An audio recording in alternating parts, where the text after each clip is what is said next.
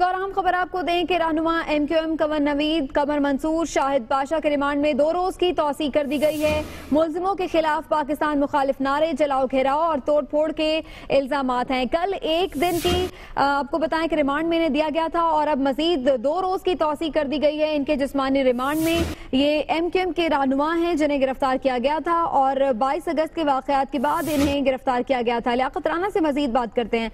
लियाकत राना आज क्या कार्रवाई हुई है? देखिए, इन कमर नवीद, जमील कमर मंसूर और शाहिद पाशा समेत सैंतीस एमक्यूएम के कारकुनों को इंसदाज दहशतगर्दी कोर्ट के मुंतजम जज के रूबरू पेश किया था।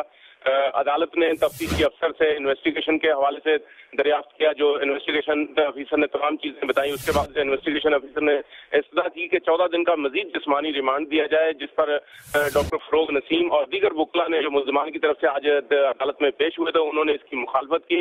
डॉक्टर फरोग नसीम का कहना था कि इन्वेस्टिगेशन हो चुकी है मजीद इन्वेस्टिगेशन की ज़रूरत नहीं है। इनको जेल भेज दिया है ताहम अदालत ने मुलजमान को पीर तक जिसमानी रिमांड पर एक मतबा फिर पुलिस की तहवील में दे दिया और पुलिस को हदायत की है कि पीर रोज दोबारा अदालत में मुलजमान को पेश किया जाए। जी। शुक्रिया आपका लियाकत